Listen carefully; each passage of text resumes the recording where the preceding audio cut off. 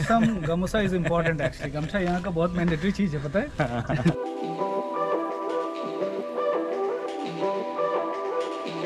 पर हमारे तो किस्मत पता नहीं क्या सोच के निकले हैं। थैंक यू मोदी जी इतनी अच्छी चीज़ के लिए।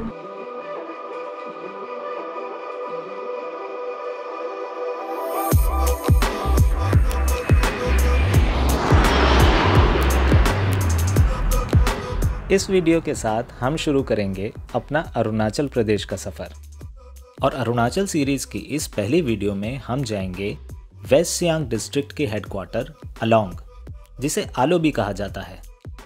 साथ ही ये जानेंगे कि अलोंग में आप कहाँ स्टे कर सकते हैं। तो आइए, चलते हैं अलोंग।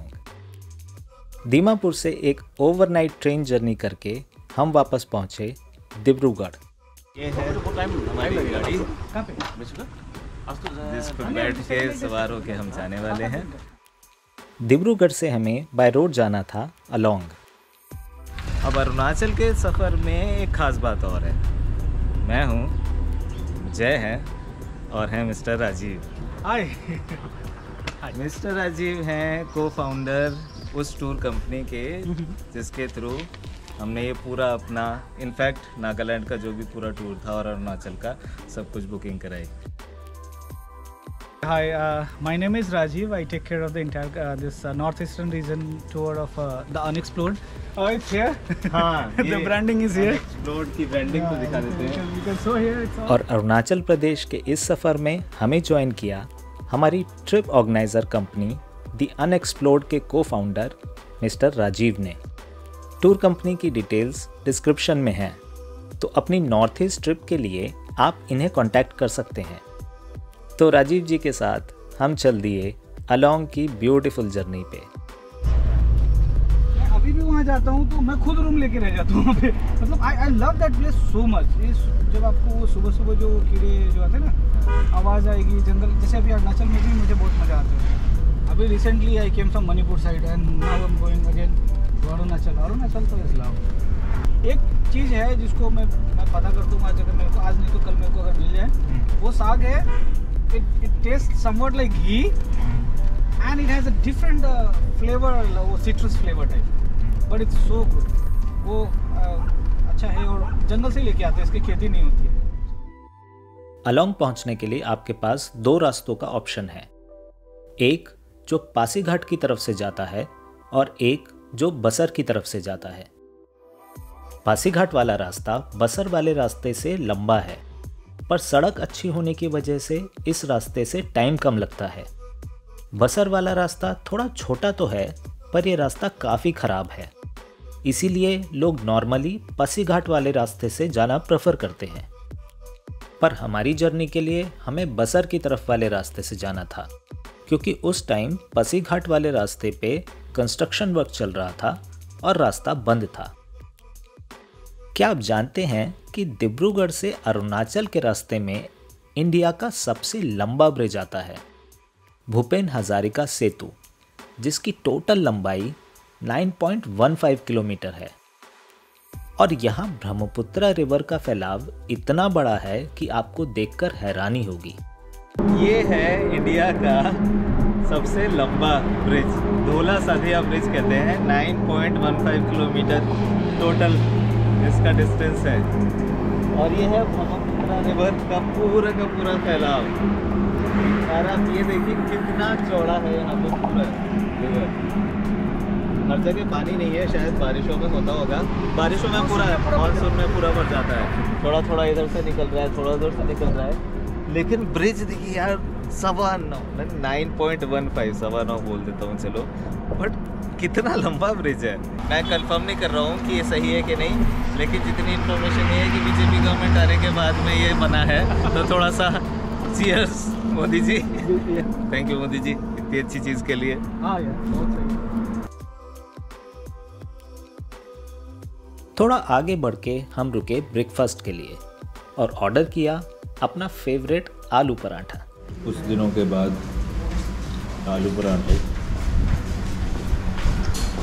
देखो सब जहाँ भी जाओ, आलू पराठे तो खाने। और वो इसलिए भी क्योंकि हर जगह के आलू के पराठे का टेस्ट पता होना चाहिए। ऐसा नहीं है कि लोकल फ़ूड खा नहीं सकते। लेकिन टेस्ट में अंतर तो पता चले बढ़िया सा ब्रेकफास्ट करने के बाद हम अपने रास्ते पे आगे बढ़े। और जैसा सुना था रास्ता वैसा ही था।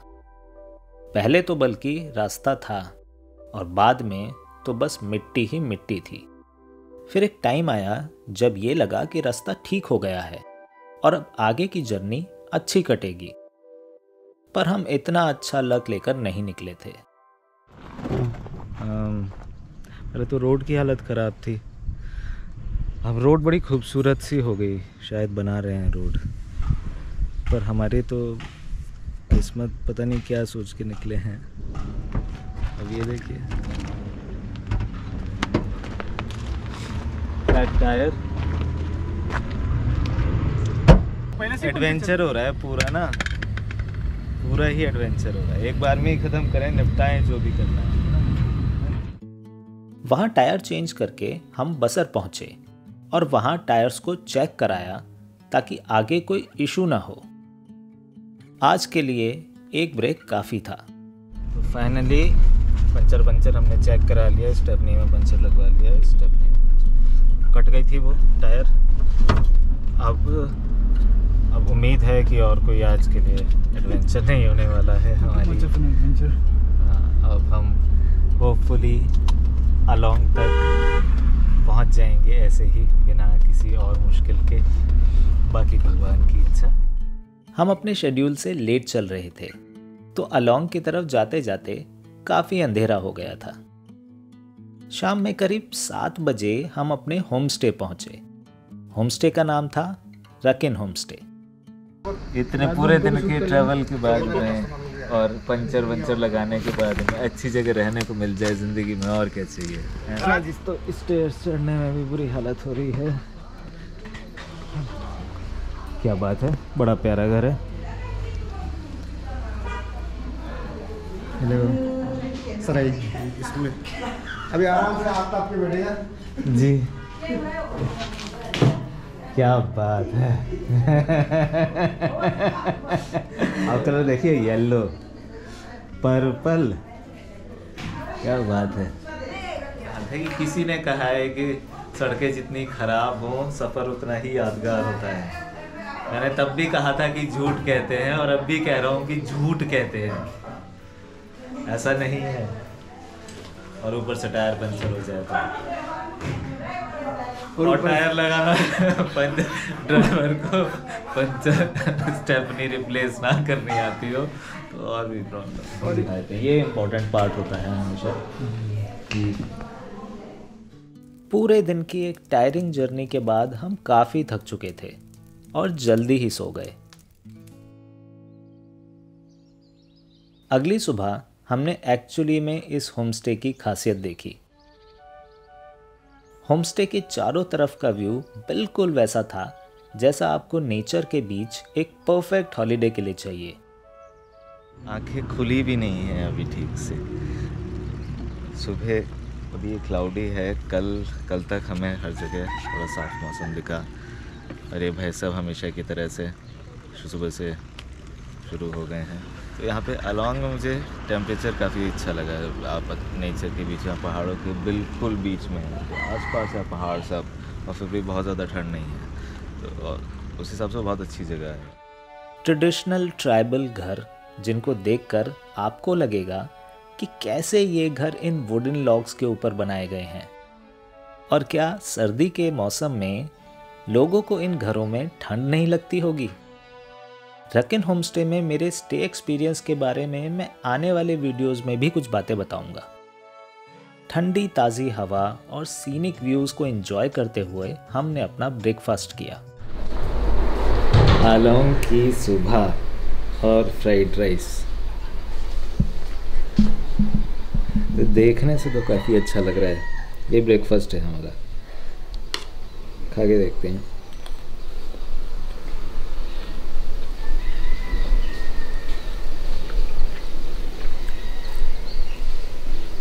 हल्का सा हम्म।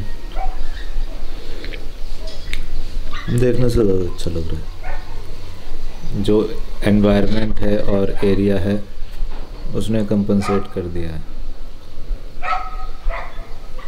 अगर इसमें आलू थोड़े और डाल दिए जाएँ तो और बढ़िया लगेगा। और फिर हम रेडी हुए अलोंग में एक बहुत ही खास एक्सपीरियंस के लिए, जो हम देखेंगे अगले वीडियो में।